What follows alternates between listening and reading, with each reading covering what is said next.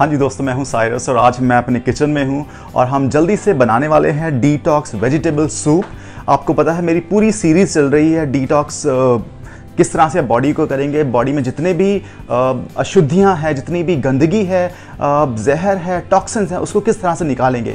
तो जल्दी से शुरू करते हैं, आपको बताने वाला हूँ, आपको क्या क्या सामग्री चाहिए वेजिटेबल सूप के लिए तो आपको दिखा देता हूँ मैं। दोस्तों, सबसे पहले हमें चाहिए आपको ये कैबेज चाहिए। साथ में टमाटर चाहिए गाजर चाहिए, एक छोटा प्याज चाहिए और ये जो शिमला मिर्च है ये चाहिए। इसको छोटे छोटे पीसेस में काट लेंगे। उसके बाद आप देखेंगे मैंने काट के छोटे छोटे पीस कर दिए हैं इसको। कोशिश कीजिए आप इसको ज़्यादा छोटे पीसेस करें ताकि हम इसको बॉईल करेंगे और जल्दी से बॉईल हो जाए। हम ज़्यादा वक्त नहीं लगाएँगे और साथ में हमें चाहिए छोटा सा प्याज काट के रखा हुआ है और हमें एक चम्मच काला नमक चाहिए और उसके अलावा हमें चाहिए आ, आ, क्या बोलते हैं इसको? हमें चाहिए ये क्या बोलते हैं इसके? ब्लैक पेपर आ, ये चाहिए। तो शुरू करते हैं दोस्तों। अब दोस्तों हम ना हल्की आँच में ये जो है गैस जलाएँगे। बिल्कुल हल्की आँच में।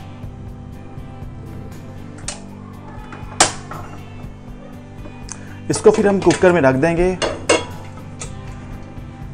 इसमें हम दो ग्लास पानी डाल देंगे।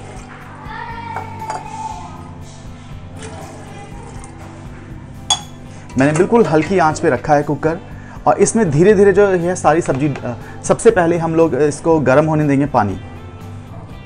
आप देखेंगे बिल्कुल धीमी आँच में चल रहा है और दोस्तों जब तक ये पानी गर्म होता है हम लोग आ, आ, मैं आपको बता दूँ दोस्तों मैंने जिस तरह से वीडियो बनाया है कि आप डीटॉक्स एक वेजिटेबल सूप है इस वेजिटेबल सूप से क्या होगा? अगर आप इंटरमीडियंट फास्टिंग करते हैं, जैसे जैसे मैंने बताया 16 घंटे का उपवास रखना है तो आपकी जो पहली मील होगी, वो वेजिटेबल सूप पी सकते हैं। लेकिन जैसे मैंने बताया, अगर आप 8 बजे डिनर करते हैं तो आपकी पहली मील 12 बजे होनी चाहिए।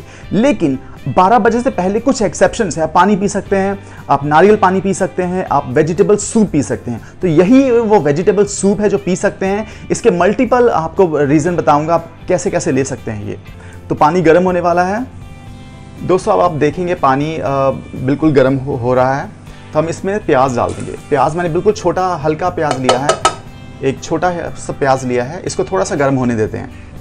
दोस्तों आप देखोगे मैंने बिल्कुल भी ऑयल का यूज़ नहीं किया है क्योंकि हमें एक ऐसी वेजिटेबल सूप बनाना है जिसमें ज़्यादा कैलोरीज ना हो। तो हम बिल्कुल भी ऑयल यूज़ नहीं करेंगे। अभी आप देखेंगे पानी उबलने लग गया है तो सबसे पहले हम लोग गाजर डाल देंगे इसमें।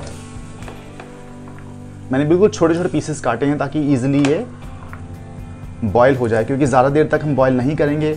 अब इसमें हम ये जो बंद गोभी है, ये डाल देंगे।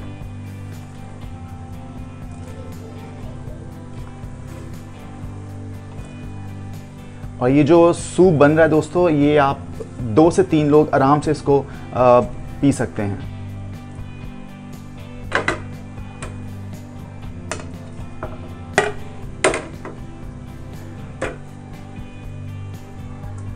इसमें कैलोरीज बहुत कम है दोस्तों। बहुत ज़्यादा मिनरल्स हैं वाइटमिन हैं। अब इसको हम 15 मिनट तक पकने देते हैं दोस्तों। और इसमें हम क्या करेंगे, ये देखिए, मैंने एक चम्मच काला नमक लिया है और आधे से आधा चम्मच काली जो ब्लैक पेपर है, काली मिर्च वो ली है, वो डाल देंगे इसमें। हम इसको अच्छे से मिक्स कर देंगे।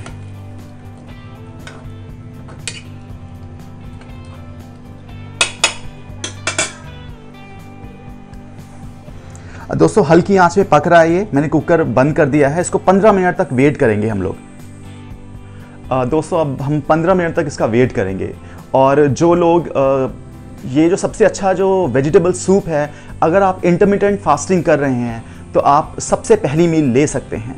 अगर आप 12 बजे से पहले मील लेते हैं तो उसका सूप कैसे लेना है वो भी आपको बताऊँगा। तो चलिए इसको बनने देते हैं। हाँ जी, दोस्तों, हमारा जो सूप है वेजिटेबल सूप और बन के तैयार है। देखिए, जितनी भी वेजिटेबल थी ये, आप देखिए, पूरी बन के तैयार है। पंद्रह मिनट में बन गई है ये। और उसके अलावा उस वेजिटेबल का मैंने थोड़ा सा पानी निकाल लिया दोस्तों। ये जो पानी है, मैं कह रहा था आप लोगों को कि 12 बजे आप जब पहली मील खाएँगे, उससे पहले आप वेजिटेबल सूप पी सकते हैं। मैं इस सूप की बात कर रहा था दोस्तों।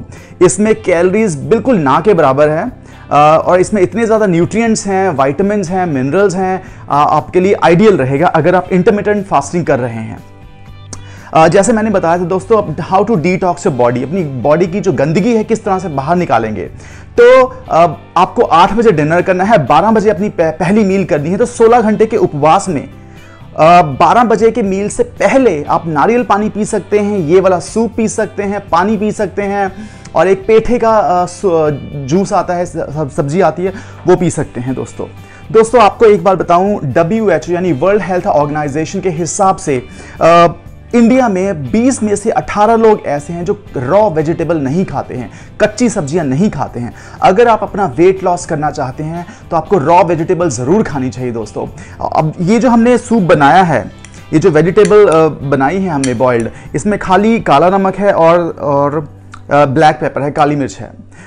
दोस्तों, ये आइडियल है फैट लॉस के लिए। अगर आप सुबह उठ के पराठे खाते हो साथ में कुछ और खाते हो तो इस सबसे बेटर है ये बाउल भर के आप वेजिटेबल्स खा लीजिए। इससे आपका फैट लॉस होना ही होना है।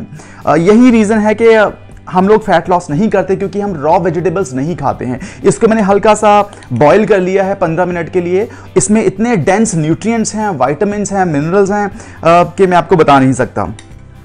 तो ये मेरा वीडियो था दोस्तों। अब मैं नेक्स्ट वीडियो बनाने वाला हूँ। जैसे मैंने आपको बताया था कि अन्न खाने, जब आप अन्न खाते हैं तो उसको 18 घंटे लगते हैं डाइजेस्ट होने में। तो क्या किया जाए जो आप ऐसा अन्न खाओ जो जल्दी डाइजेस्ट हो जाए? मैं जल्दी ही से डीटॉक्स रोटी बनाने वाला हूँ दोस्तों। एक अलग तरीके से रोटी बनाएँगे। नेक्स्ट वीडियो इसी वीडियो की कंटिन्यूएशन में आएगा। आप अपने शरीर की गंदगी किस तरह से निकाल सकते हैं? How to detox your body so इस वीडियो की पूरी सीरीज़ चल रही है दोस्तों how to detox your body पहला वीडियो देख लिया आपने सेकेंड वीडियो देख लिया थर्ड वीडियो आपने देखा किस तरह से मैंने वेजिटेबल सूप बनाया है दोस्तों। और दिस इज़ आइडियल सूप अगर आप इंटरमीडियंट फास्टिंग कर रहे हैं उपवास के दौरान आप 12 बजे से पहले पी सकते हैं। ये बहुत न्यूट्रिएंट्स हैं इसमें। So thank you so much for watching this video keep growing spread the love channel ज़रूर सब्सक्राइब करना है दोस्तों। जब चैनल सब्सक्राइब करते हैं तो बहुत खुशी होती है बहुत मोटिवेशन मिलती है। मैं और ज़्यादा मेहनत से वीडियो बनाऊँ दोस्तों। सो so, ये मेरा वीडियो था। कोई क्वेरी क्वेश्चन है मुझे इंस्टाग्राम पर मैसेज कर दे या मुझे इसी वीडियो में कॉमेंट कर सकते हैं। नेक्स्ट वीडियो बनाएँगे। एक डिटॉक्स रोटी कैसे बनाते हैं उस वीडियो इसी सीरीज़ की कंटिन्यूएशन करेंगे। सो so, हमारे तीन वीडियोस हो चुके हैं। चौथा वीडियो जल्दी आ रहा है। Take care